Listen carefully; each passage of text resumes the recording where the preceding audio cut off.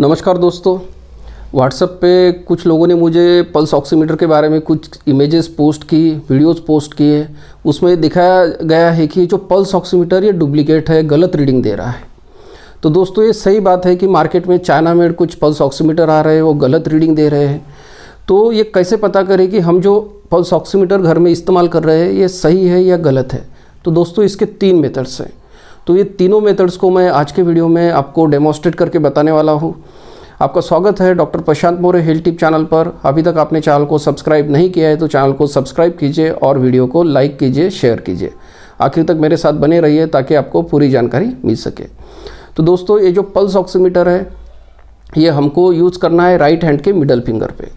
लेकिन अब ये सही है या गलत है, ये कैसे पता करें? तो इसके तीन मेथड्स हैं। अभी ये तीनों मेथड्स मैं आपको बताऊँगा। दोस्तों, ये जो वीडियो है, मुझे मेरे एक डॉक्टर मित्र ने फॉरवर्ड किया है। और इसमें देखो, कुछ लोग जो है पेन से ये पल्स ऑक्सीमीटर में रीडिंग ले रहे हैं। और इस तरह से वो क्लेम कर रहे हैं कि, देखिए पेन पे भी रीडिंग बता रहा है तो ये पल्स ऑक्सीमीटर का इस्तेमाल करने से क्या फ़ायदा? तो दोस्तों, ये जो पल्स ऑक्सीमीटर है, ये फॉल्टी है डुप्लीकेट है। अगर इस तरह के पल्स ऑक्सीमीटर या ख़राब है, बिगड़ा हुआ है तो ये यूज़ करेंगे तो रीडिंग सही देंगे नहीं। देखिए, अभी जो पेन की रीडिंग भी है, ये दिखा रहा है S P O two ninety six percent दिखा रहा है और हार्ट रेट नब्बे दिखा रहा है। और अभी तो एकदम अलग रीडिंग दिखा दी, आपका एस पी ओ टू दिखा दिया एटी फाइव मतलब पेन का, और हार्ट रेट दिखा दिया टू सिक्सटी सेवन तो दोस्तों, जो पेन है या कोई ऐसी चीज़ है तो उसका जो है पल्स ऑक्सीमीटर पहली बात तो सेंस करता ही नहीं, उसको कोई रीडिंग देता नहीं है। तो जो अच्छी कंपनी का पल्स ऑक्सीमीटर है, वो उसकी रीडिंग देगा नहीं। तो इसकी वजह से जो पल्स ऑक्सीमीटर आप लेते हैं, वो लेते वक्त बहुत सावधानी रखनी पड़ेगी आपको। क्योंकि ये सही है या गलत है, ये डिसाइड करना बहुत ज़रूरी है, नहीं तो घर पे आप पल्स ऑक्सीमीटर लेंगे, आपको चाइना मेड पल्स ऑक्सीमीटर में रीडिंग 95 से 100 के बीच में सेट है। हर बार आप चेक करेंगे, आपको लगेगा अच्छा है अच्छा है। तो दोस्तों, ये 95 से नीचे रीड है तो बताता ही नहीं है। तो इस तरह के पल्स ऑक्सीमीटर भी आ गए मार्केट में। तो इससे हमें बचना चाहिए। तो इसको मैं आगे वीडियो में बताऊँगा कि कैसे पता करें कि ये पल्स ऑक्सीमीटर सही या गलत है। दोस्तों, ये जो दूसरा पिक भेजा है, उसमें भी देखिए, चारों उंगलियों पे पल्स ऑक्सीमीटर अलग अलग रीडिंग दिखा रहा है। इंडेक्स फिंगर पे दिखा रहा है 91 फिर मिडल फिंगर में 77 रिंग फिंगर में 98 परसेंट एसपीओ दिखा रहा है, और जो रिंग फिंगर है, उसमें 83 परसेंट दिखा रहा है। तो इतना डिफरेंस नेचुरली देखने को नहीं मिलता है। ज़्यादा से ज़्यादा दो तीन परसेंट का डिफरेंस देखने को मिल सकता है। इतना डिफरेंस देखने को नहीं मिलना चाहिए। अगर ये पल्स ऑक्सीमीटर दिखा रहा है तो ये फॉल्टी है डुप्लीकेट दोस्तों, ये हमारे सामने पल्स ऑक्सीमीटर है। हम रबर बैंड और पेन का इस्तेमाल करके पता करेंगे कि ये सही काम कर रहे हैं या नहीं। तो सबसे पहले हम जो हमारा मिडल फिंगर है राइट हैंड का मिडल फिंगर मध्यमा, इसमें जो नॉर्मल ऑक्सीजन सेचुरेशन है, इसको चेक करेंगे। देखिए, ये दिखा रहा है 96 और हार्ट रेट दिखा रहा है अराउंड 88 तो दोस्तों, ये जो रीडिंग है हमारी पल्स ऑक्सीमीटर ने दिखाई है। तो अभी पेन की अगर हम रीडिंग लेते हैं तो आती है या नहीं? दोस्तों, जो पहले एक वीडियो दिखाया था मैंने आपको शुरू में, उसमें जो पेन की रीडिंग दिखा रहा था। तो अगर हम पेन की रीडिंग लेते हैं इस पल्स ऑक्सीमीटर में तो देखिए क्या होता है। नॉर्मली जो है पेन की रीडिंग नहीं दिखानी चाहिए पल्स ऑक्सीमीटर में। और अगर कोई पल्स ऑक्सीमीटर दिखाता भी है तो वो गलत रीडिंग होगी। नॉर्मली जो पल्स ऑक्सीमीटर का सेंसर है, ये पेन को सेंस नहीं कर पाएगा। तो देखिए, अभी हम इसको ऑन करने की कोशिश कर रहे हैं तो ये पेन से रीडिंग नहीं आ पा रही है। दोस्तों, इसके बाद जो है रबर बैंड का इस्तेमाल करके हम पता कर सकते हैं कि जो पल्स ऑक्सीमीटर में रीडिंग है, ये सही है या नहीं है। क्योंकि कुल पल्स ऑक्सीमीटर में रीडिंग जो है 95 से 100 के बीच में सेट रहती है और हार्ट रेट भी 60 से 100 के बीच में सेट रहता है। तो अभी जो ये रीडिंग दिखा रहा है मतलब जो S P O T ninety है और हार्ट रेट नाइन्टी है। तो अगर कुछ पल्स ऑक्सीमीटर में ये रीडिंग ऑलरेडी सेट रहती है तो ये रीडिंग इसमें सेट है क्या? ये फॉल्टी है क्या? मतलब गलत रीडिंग तो इसमें सेट नहीं है। ये चाइना मेड तो नहीं है, डुप्लीकेट तो नहीं है। तो दोस्तों, ये पता करने के लिए हम क्या करेंगे? एक रबर बैंड लीजिए आप। और आपका जो इंडेक्स फिंगर है, उसको टाइट उसमें लगा दीजिए।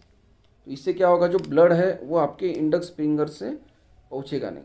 अब ब्लड नहीं पहुँचेगा तो ऑक्सीजन नहीं पहुँचेगा। तो ये लगा के आप फिर इसको पल्स ऑक्सीमीटर लगा ले। तो इसके बाद पल्स ऑक्सीमीटर आप लगा लेंगे तो दो चीज़ें हो सकती है। अगर इसने रीड किया तो ऑक्सीजन सेचुरेशन कम दिखाना चाहिए।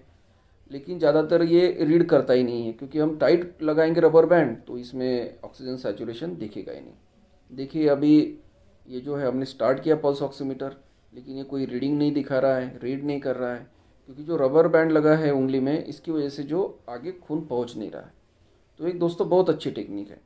इससे आपको जो घर में पल्स ऑक्सीमीटर आप इस्तेमाल कर रहे हैं, वो सही है या फॉल्टी है या डुप्लीकेट है, ये पता चलेगा। देखिए, इसने जो इसका सेंसर है, इसने रीड ही नहीं किया। तो अभी रबर बैंड निकाल दीजिए। अभी थोड़े मेरी उंगली में दर्द होना शुरू हुआ है। तो ये क्या ज़्यादा देर तक रखेंगे तो उंगली में थोड़ी सूजन भी आ सकती है तो इसको रबर बैंड को जल्दी निकाल दीजिए। दोस्तों, मैंने एक वीडियो के स्टार्ट में जो मुझे व्हाट्सअप पे एक पिक्चर मिला था कि पाँच उंगलियों में जो पल्स ऑक्सीमीटर की रीडिंग है, वो पाँचों उंगलियों में अलग अलग है। तो दोस्तों नॉर्मली हम राइट हैंड के जो मिडल फिंगर है, उससे ये चेक करते हैं। लेकिन बाकी उंगलियों में भी चेक करेंगे तो बहुत ज़्यादा डिफरेंस नहीं देखने को मिलना चाहिए। ज़्यादा से ज़्यादा दो या तीन प्रतिशत का डिफरेंस मिलने को होना चाहिए। अभी देखिए, ये हमने थम में चेक किया तो S P O two ninety five है। अभी हम इसको इंडेक्स फिंगर है हमारा, इसमें चेक करेंगे, इसमें कितना रीडिंग दिखाता है। तो इसमें भी जो है S P O two ninety five दिखा रहा है। ठीक है? हार्ट रेट भी नब्बे के आजू बाजू में दिखा रहा है। तो ऐसा करके हम बाकी की उंगलियों में भी चेक करेंगे। दोस्तों, ये इसलिए चेक कर रहे हैं कि अगर गलत ये होगा पल्स ऑक्सीमीटर तो ये बहुत अलग अलग रीडिंग दे सकता है। एक इसमें दिखाएगा अस्सी, दूसरे इसमें दिखाएगा नब्बे किसी में दिखाएगा नाइन्टी फाइव तो पल्स ऑक्सीमीटर सही है या नहीं है, ये चेक करना भी बहुत ज़रूरी है। क्योंकि कोविड नाइन्टीन में अभी सब लोग घर में अपना ऑक्सीजन सेचुरेशन नाप रहे हैं और आप जो मशीन है पल्स ऑक्सीमीटर यही गलत लेके आए फॉल्टी लेके आए डुप्लीकेट लेके आए तो फिर इस मशीन का इस्तेमाल करने का कुछ फ़ायदा ही नहीं है, वो आपको झूठी तसली देगी।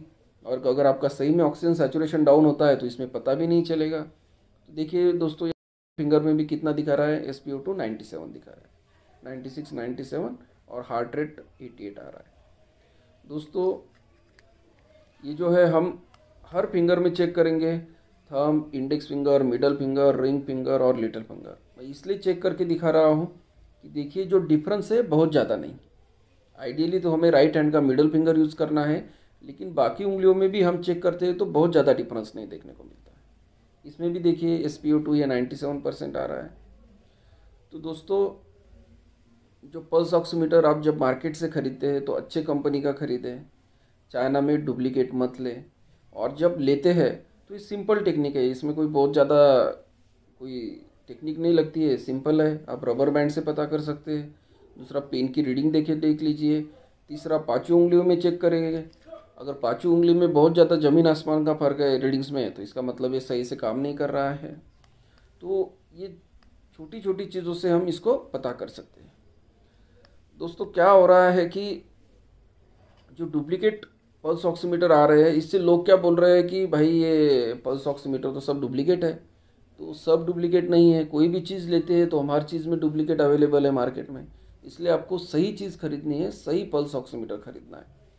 मैं कुछ पल्स ऑक्सीमीटर के लिंक आपको डिस्क्रिप्शन बॉक्स में देता हूँ ताकि आपको अच्छे कंपनी के जो पल्स ऑक्सीमीटर है, ये मैंने अमेज़ोन से जो है लिंक इसके मैं प्रोवाइड करता हूँ डिस्क्रिप्शन बॉक्स में, वहाँ से आप खरीद सकते हैं। नहीं तो आप आपके बाजू बाजू में जो मेडिकल स्टोर्स है, वहाँ से भी जो है पल्स ऑक्सीमीटर को खरीद सकते हैं। दोस्तों, ये जो कोविड नाइन्टीन का पैंडमिक फैला है तो घर में अभी पल्स ऑक्सीमीटर होना बहुत ज़रूरी है। दोस्तों, अभी तीसरी टेक्निक क्या है? तो अभी मिडल फिंगर को मैं चेक करके दिखाता हूँ। सैचुरेशन है नाइन्टी सिक्स। ठीक है? तो अभी क्या कर रहा हूँ मैं? ज़ोर ज़ोर से सांस लेना स्टार्ट करता हूँ। ये अभी नाइन्टी सिक्स, नाइन्टी सेवन की रेंज में दिखा रहा है। Heart rate around eighty one है।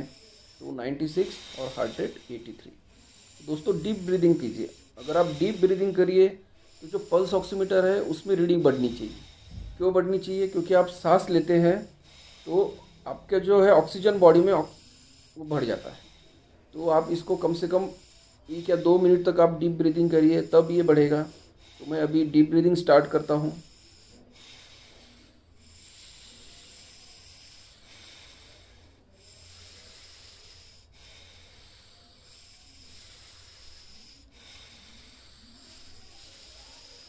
देखिए दोस्तों, ये अभी 98 हो गया है।